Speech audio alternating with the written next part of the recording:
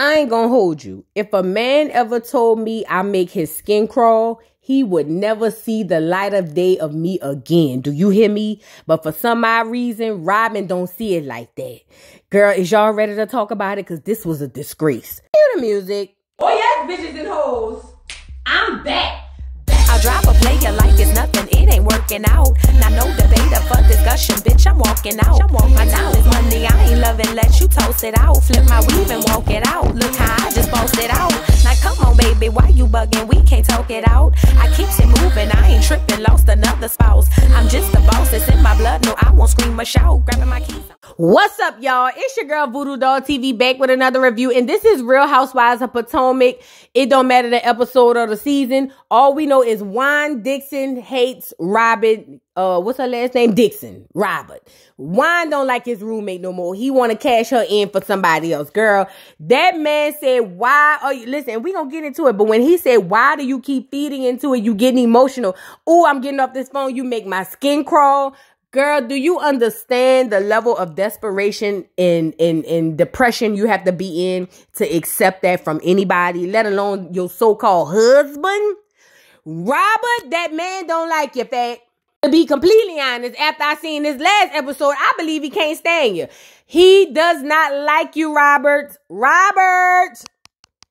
Hey, Robert, that man don't like you, girl. He don't like you. And I know you holding on to dear life. And I know in your mind and in your heart of hearts, you really believe that this house somehow, some way, I'm sorry, is to turn out for the good, but it's not. The moment he gets an independent chance to leave you, he's out of there, girl. Like a doggone hit and run. He's out of there. He don't want you, girl. And the fact that you finally get to this to start crying for us to see some emotion tells me that your one trigger is for somebody to bring up the fact that you are part of the reason Juan Dixon has had a demise in his coin and his career. That's the trigger. Y'all see, y'all missed that era. Y'all could drag that relationship. Y'all could drag Robert for being an idiot. Y'all could drag Robert for a lot of things. But the moment you hit that little soft spot, where she already insecure at. You know the one where y'all tell her basically she has something to do with him uh, in another unfortunate, untimely demise. That's the part. See, a lot of y'all missed that. That went over y'all head. Robert has absolutely no identity outside of Juan Dixon. Robert harbors a whole bunch of regrets and a whole bunch of uh sorry for trusting that businessman slash friend and him taking all of that money. See, y'all don't know what buttons to push. See, I'd have been pushed this one, but this the one that got pushed, and now we finally get some emotion out of her. But you only getting emotion out of her because it's uh, insecurity that Robyn has. Robyn probably go to sleep at night every night praying that she could get Juan back up to where he was and that he would forgive her. But Juan has never and never will forgive you for that. That's why when you call him to keep him up to date on what's going on, he tell you some of the most heinous things such as you making my skin crawl. Girl. Luther Vandross said, I'm not meant to be alone, but this house is not a home. And I told Luther, you's a lie. I'm meant to be alone when a nigga telling me I make his skin crawl. Is you crazy? Girl, the house will be a home, a house, a shack, whatever I call it, a boom, boom room. It'll be everything before I have to sleep shoulder to shoulder with a nigga telling me I make his skin crawl. Girl, please. Girl, let's get into this episode because this was too much. So now the episode opens up. They on the way to play chicken shit bingo. And Robert is in the back of the car crying because uh Candy Eyes told her, I'm not speaking on no ongoing legal issue, which is probably what you should have did. And that's probably why your man ain't got no job. See, that's the kicker right there. That's the part. That's the part right there. Y'all didn't know what buttons to push. She know her man ain't her man. She know her man for everybody. She don't care about that. You gotta hit her where it hurt. And this is the gag. Candy Eyes wasn't even trying to really do that to her. But it just so happened the chips fell where they may and they fell all in the right place. You know, like on some, uh, what do you call it? On Wheel of Fortune or something. But anyway, they gets inside of the doggone place and Robert is, she cannot she she's done for you know candy eyes done really hit a button that she didn't expect to get activated. And so she's done. She cannot move forward. Another moment with this whole situation. And Gizzard is over there waiting on gold because she ready to ice Candace out anyway. So now Robert get the crying. Mia and Gizzard is consoling her. Oh, Robert, it's gonna be okay. Don't worry about it. Robert is over there saying, I can't believe she said that. I, I just don't understand because I am not the person and the reason why Juan doesn't have a job. And for her to say that, and I'm saying, yay, ah, huh. You the reason, bitch. We'll never know, but I feel like it was, bitch. If you'd have got your ass on TV and when they asked you, told them no comment, bitch, he might still have a job, but you can't your little lighty, brighty ass up there talking too much and not look where he at, at home with you, bitch. Now, this the part that killed me. Candace started crying. Candace, what is you crying for? Somebody explain to me why Candy Eyes had to fold her tissue into a triangle and start crying. Girl, what are we doing? Remember, I told y'all the dark skinned girls always run behind the light skinned women. Y'all be thinking I'm tripping. I am not tripping. Why is you crying, Candace? Now, Candace said she crying because she crying and she feel bad. Girl, what are we doing here? Let that hoe go sniffle and sniff all the way out the door. I would have been sitting there sipping my martini or whatever, my margarita or my Patron on the rocks, girl, looking like, girl, you good? You need me to fold you up a napkin? But no, that's what they do. They run behind these girls. And I feel like Robert is using this opportunity to basically have another reason to ice candy ass out. Now Gizzard over there saying, you're not a friend. Don't cry because you're a friend because a friend would never do this to her do what? Tell her the truth? Cause that's what you ain't did. Gizzard, gizzard, gizzard. Take one of your necks and, and, and hit it with the other one and close it shut, bitch. You don't tell her the truth. Why? What's wrong with Candy Eyes telling her, bitch, you might have fucked up? Cause she probably did. Now Candy Eyes is over there saying, I can't believe that these, this is happening to her. And I just sympathize and empathize so much with her. Candy Eyes, girl, what?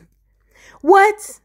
Now, as this happening, they taking Robert outside, and I'm saying, bitch, you should be on the floor to juvenile hollering. Cash Money Records taking over for the 99 and the 2000, waiting on and betting on your chicken shit. What are we doing? But Candy Eyes, that's what y'all do. And I don't care what Wendy, y'all know I'm not a fan. I don't care what Wendy interferes say, bitch. It's just, it's, it's capping. It's crazy to me. It's crazy to me. Now Nneka feels like uh Candy Eyes can't make her own decisions or something like that. Girl, um, what's her name? Uh Karen over there trying to hold her breath because she says she allergic to chicken. And I'm saying, Karen, go lay down, grind down. I know you done carried your ass down to somebody KFC. TMZ, get on it. Get Karen at the KFC so we can get this whole chicken thing over with, girl. And Karen, go lay down. Let's move on. So now Mia follows Robert outside and she sits on the curb like that little clear boy from the Wonder Years or something. And I'm sitting here saying, first of all, Mia, where is you going? And then second of all, you trying to go over there to check on her. Let that whole Samba in peace. Do you hear me? Look at her looking stupid. Let her sit there.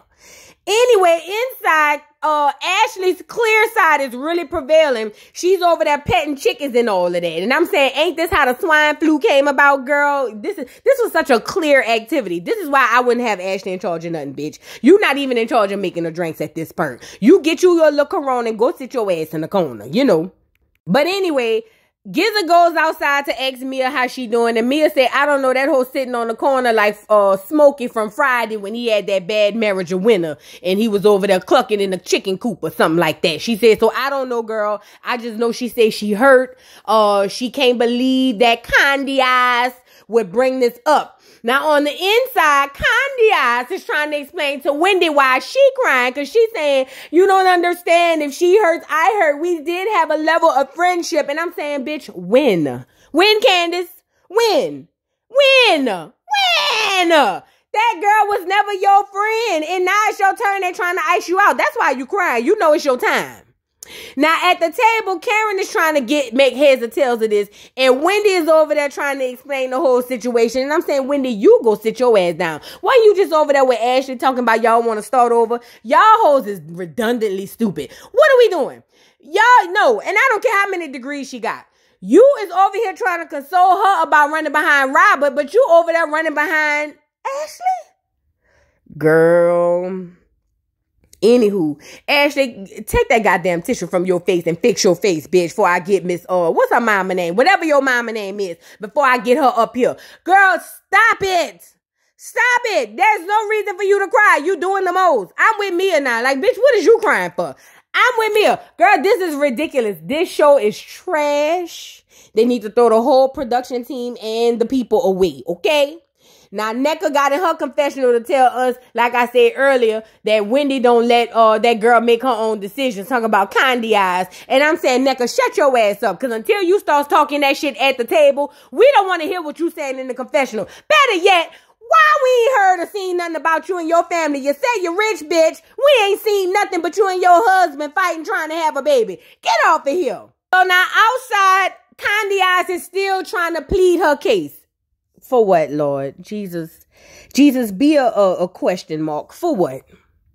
She's trying to talk to them and tell them how, you know, she had an ongoing legal case. And that's the reason why she said that because, you know, we never know if Robert really did affect him having a job or not. Uh, I, I'm, I'm going to be honest. Um, I think she could have possibly, but ultimately, what if what I read is true? He was on his way out the door anyway, y'all. It really was. That's just what it was. And the fact that we congregating about this, I'm sitting here saying why. Shouldn't y'all be inside with Nneka and uh, and Ashley playing chicken shit bingo? Why is y'all out here congregating about this shit? Why? And if this heifer put another triangle to her eye, I'm gonna make it a sharp one and poke her in one of them. Girl, get girl, Candace. That's why I never liked it, you Candace. You too dramatic. You too dramatic. You you read and then you get lethal with it. And then when somebody pop you upside the head, you either do this, you get the crying, or when you you read and somebody feelings get hurt, you get the crying. Stop crying and all that ugly ass shit.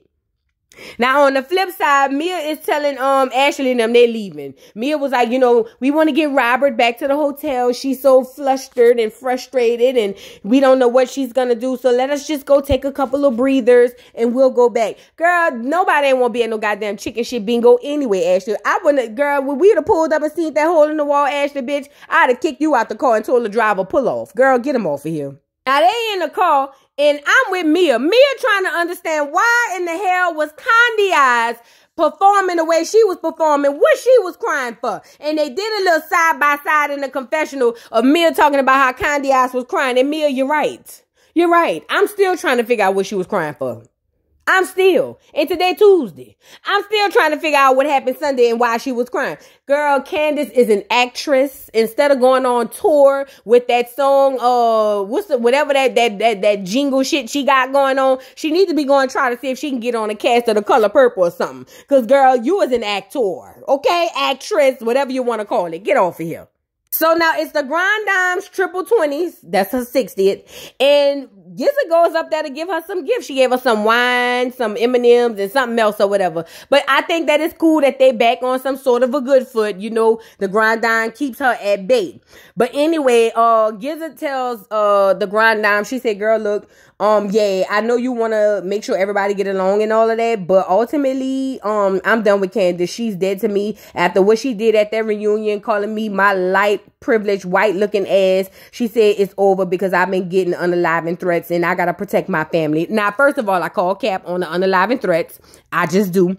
But secondly, I'm not gonna hold y'all. When Candy Eyes told that to that girl and they had just beginning or just finished talking about uh colorism, I said in my mind that was wrong. Black women, it is no different from us feeling like the uh some people in certain parts of the community attack us even though we all have a black struggle. That was wrong for her to do that. Now, is it worth this? No. But you, we all know Gizzard. Gizzard is not a reader. Gizzard is gonna basically catch you back with your job. We seen her do it to Monique. We seen her do it to a couple of other people. That's just the way it works. And that's just what it is. And unfortunately, she's probably going to be able to ice her out. Unless Karen keeps filming with her, which I believe that she will. But Karen said, I'm so glad you told me this, girl. I didn't know. I had no idea. But moving forward, I won't try to force it no more. Uh, I'm, I'm sorry that you getting them, them threats. She said, me and you both got brown skinned daughters and y'all do. But ultimately, you still don't understand the struggle. But I get where they coming from. Like they really weren't trying to be malicious or colorist. But honestly, Gizzard, I don't, Karen, I don't think you will or you are. But Gizzard, the, the, the jury is out on you, bitch. Let's move on. So now Mia FaceTimes Gordon and Gordon is telling her about this doggone lawsuit he got against his siblings because he said they owe him at least a half a million dollars. Mia don't agree with the lawsuit. Mia knows something that we don't know, but she's saying that he's really just trying to move forward with it. But Mia says she don't agree with it. And I believe Mia, you don't agree with it because you know your husband was probably around there stealing and snickling and giggling and both of y'all was doing it together. That's all I could believe. And also Mia, you ain't with that man. You wasn't with him when y'all started filming. Get off here. Now it's kayaking time. See what I mean when I say clear activities? I'm not saying black people don't be in the water. I am an advent swimmer. Anybody who knows me know. However, kayaking, bitch, we trying to be cute and go sit down and have um brunch or something, girl. Get us a little mimosa or something. What is you doing? Now the grand dame said she not getting in. She said, cause baby, I didn't make it all the way to 60 to get taken out by a kayak or whatever the case. So I'm with the uh grand dame. Now Candy Eyes, not Candy Eyes. Ashley feels like the grand dame is so fit and feminine and all of that. She would think she would be up for it. Girl, Ashley, you could tell you and Michael went on a lot of vacations, girl. The black women don't want to do this, fat. And it ain't got nothing to do with our hair. We just don't want to be on vacation on no goddamn kayak in the middle of a river where they got snakes and snails and puppy dog tails. Ashley, go lay down. Now, as the girls go off, Candy Eyes goes over to Karen to plead her case. And let me be honest, Candy Eyes is doing the right thing. See, this is what Miss Quad should have did over there at Married Medicine. Instead of saying screw all the girls and, and tooting your nose up at them, I'm sorry, you should have went tried to find you an ally. And that's what Candy Eyes is doing because she see the plate. And she's over there telling Karen, you know, I really didn't mean it like that. It was just on some, you know, I didn't want to speak on an ongoing issue. And Robert is very sensitive and da da da da. da. And, um, Karen was like, I understand what you mean. Now, Karen didn't tell her that Robert said, bitch, you is D-E-A-D to me. She didn't tell her that part, but she said, you know, moving forward, just try to choose your little words a little wiser or something like that. And I'm saying, girl, Karen, try to save her as much as you want. But if they got Nneka, Nneka on the side with the other girls, it's going to be tough because Wendy don't have enough storyline to carry with her. And you're the only other one. And you ain't got no storyline this at this point, to be completely honest. So y'all might want to make this amends and figure this part out because this about to be crazy. Now the girls get the kayaking. I think they got some liquor out there or something. I don't know. And I say it sounds like a good time to me. Now I know they say don't drink and drive and don't drink and kayak and all of that. So I am not promoting that. But if somebody would have had a flask or a little wine or something, I ain't gonna lie, I would have took a little swig. I'm not telling y'all to do it. Don't do that. That is dangerous. I'm just telling you what I would have did. Anyway. To be completely honest, in this scene, I don't know what's going on. I really don't. I don't remember. The show is not memorable. Um, maybe Karen is over there telling Nneka. Is that Nneka? Yeah, that's Nneka. Maybe she over there telling Nneka, you know, girl, watch your back. I don't know. I don't remember. It was not um memorable, to be honest. The whole show isn't memorable. So yeah, let's just leave it there. Let's move on to the good scene, the final scene. Robert calls her roommate Juan Dixon to tell him what they said. And it was at this point I knew Juan Dixon don't give a good God googly moogly damn what they said. Now Robert gets on the phone and was like, Hey Juan, I just wanted to kind of get you up to date on what's been going on with the girls. The girls are over there basically saying that I had something to do with you losing your job and that's not true. And it, I just want to clear that up. And Juan Dixon said, Robert, why is you calling me? I'm with my bitch. What the, what do you want? What do you want? And she was like, but Juan, I'm just trying to show you that I really love you. And he was like, but I don't love you. I don't love you. You keep getting into it with these girls and y'all discussing me and you giving it energy. Let me be with my woman in peace. Stop calling me. And she was saying, but Juan, no, Juan, I really, really need you, Juan. Please don't hang up on me. I'm at my most vulnerable. And Juan said, bitch, fuck you and vulnerable, girl. I don't care about you. You just trying to keep bringing me down. Bad enough you done had them folks take my money. Now they done took my job, bitch. I hate you forever. And she was saying, why no, why no, please, why no, I'm melting, I'm melting. You know how when they threw the water on the uh, Wicked Witch of the West, that's how she was talking or whatever. And Juan was saying, you get on my nerves. I can't stand you. As a matter of fact, Hearing your voice just makes my skin crawl. How am I supposed to go have relations with my bitch after you done call me on some fuck shit like this? Get off my line. And he hung up. And that hoe got the crying. And I said, Oh, Robert. Robert. How you let that nigga play in your top like that and you paying the bills? Bitch, when I tell you ain't no way a nigga that staying under my roof drinking my water, eating my food, flicking on my lights, gonna be talking to me like that, bitch? Girl, please. But Robert is so desperate. She'll do anything for her man. My man, my man, my man. Bitch, your man left you for dead. Mm-hmm, sure did. Literally. Girl, Robert, you know, finally we got something out of you. It to me it ain't enough. We need more. But I'll take this for now, Robert. I hope they drag you down to the ground at the reunion. We all know Juan Dixon won't be there because he's never there. So uh yeah, this is gonna be great. Finally, you got your karma. Use the evil little green-eyed heifer, and this is how it works. What goes around comes back around. That's why the world is round like a circle, bitch. Anyways, what y'all think about this, girl? Is Juan, eh, do y'all think Juan love Robert? I don't. Drop down in the comments and let me know what y'all thought. Don't forget to like, subscribe, hit the notification bell, follow me on all platforms, boo boo. And I'll see y'all hoes later. Bye. Mr. Carroll, how you give the voodoo doll time to talk? I don't get no fucking time to talk. Who the voodoo doll is? The nigga you just had up here.